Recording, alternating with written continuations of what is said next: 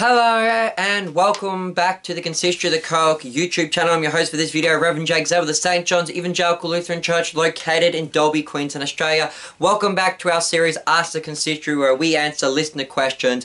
And this is a question I'm putting out for All Saints Day and this is on the topic of invocation of the saints. Can we pray to the saints? And actually, I'm going to break this video into three parts titled Prayers to the Saints, prayers of the saints, and prayers for the saints. Because it is very interesting to see what the Lutheran confessions say on these different ways of praying, either to, of, and for the saints. And before I get underway with this episode, I'd like to recommend going and checking out my lecture on Article 21 of the Augsburg Confession in my What It Means to Be a Lutheran lecture series. Now, if you're watching this video at the time that this video is first uploaded, I will not have loaded, um, I will not have loaded my lecture on Article 21 onto this channel yet. But if you're watching this video at a later date, hopefully I have uploaded it by that time.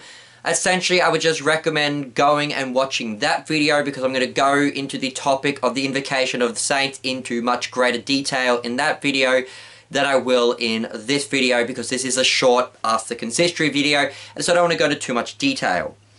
Essentially, if you want to understand what is the Lutheran position on the invocation of the saints, the Lutheran confessions have essentially three parts you can look at. There is Article 21 of the Augsburg Confession, there is Article 21 of the Apology of the Augsburg Confession, and in Article 2 of Part 2 of the Smalcald Articles, lines 25 to 28, Luther also mentions the invocation of the saints. So, Melanchthon in the Augsburg Confession essentially says that we do not pray to the saints.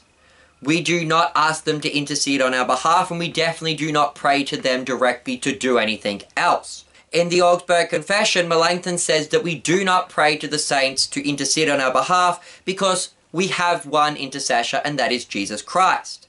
In 1 Timothy 2.5, it says that we have one reconciler and one mediator between us and God, the man Christ Jesus.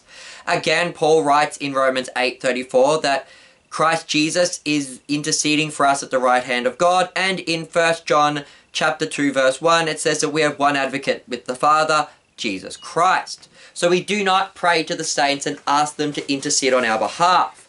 Melanchthon in the Apology also mentions that we do not pray directly to the saints to do things because the Catholics the Catholics didn't just pray to the saints as intercessors, they actually took it even further and prayed to the saints as essentially mini gods. You could pray to Saint Anne for wealth. You could pray to Saint Sebastian to protect you from getting sick. You could pray to Saint Valentine if you were suffering from epilepsy. You could pray to Saint George to protect you from warfare. So the Catholics actually taught you could pray to the saints to get stuff. Now, there's a few things wrong with that. One is that the saints aren't divine and they have no special power and can't do supernatural things like God can. Two, and most importantly, we're told to pray only to God and not to the saints. In Matthew 11:28, Jesus says that the weary should come to him. In Isaiah 11:10, it says that the nations shall inquire of him, the him being God. In Psalm 45:12 it says that the people of Tyre will seek him. In Psalm 72 11, it says that the kings of the earth will fall down before him. And in verse 15 it says that prayer may be made to him. In John 5:23 Christ says that we may all honor the Son. And in 2 Thessalonians 2.16, St. Paul prays to our Lord Jesus Christ and God the Father. There is also just the fact that in our Lord's Prayer, when the disciples come to Jesus and say, Jesus, teach us to pray. Jesus says, when you pray, pray our Father who is in heaven. He doesn't say, pray, dear Moses, intercede on my behalf. No. We're given the example of Christ as to how we are to pray. We pray to God. Now, the Catholics will argue that you can pray to saints in heaven. And the example they like to use comes from the book of Maccabees, second book of Maccabees, chapter 15, verse 14, in which Judas Maccabeus tells of a dream in which he saw the high priest Onias who had recently died, was in heaven, joined by the prophet Jeremiah praying for the Maccabees to win their victory. And the Catholics say, see, this is proof that you can pray to the saints. But that's not accurate. That's not someone praying to the saints, because Judas nowhere prays to the saints. That's the saints praying for the church, which we're going to get to in our next video on the prayers of the saints.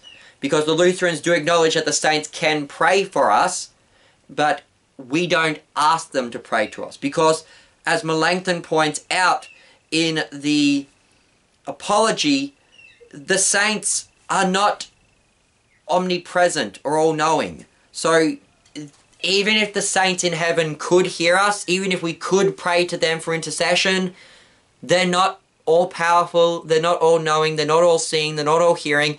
And so if they could see or hear us, it's only one at a time.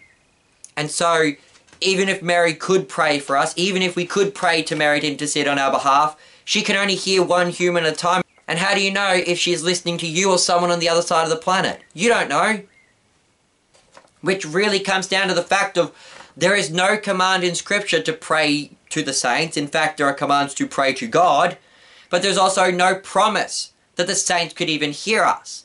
In the account of Lazarus and the rich man, which Melanchthon mentions in the Apology, the rich man begs Lazarus to be sent back to earth and to speak to his loved ones. But he can't. And Melanchthon uses this to show that those in the afterlife may be concerned with us here on earth, but they do not possess the ability to interact with us. And we have no promise that they can hear us. What we do have a promise is that God will hear us. We have a command to pray to God and a promise that God will hear us. And so that is what we should do.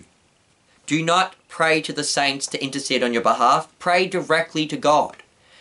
Pray to God through the intercession of Jesus. The saints can't help you and they can't offer up prayers on your behalf to God. So I've been your host, Reverend Jake Zabel. That's the brief point about the invocation of the saints. Join us in our next video, which is going to be the prayer of the saints. Goodbye and God bless.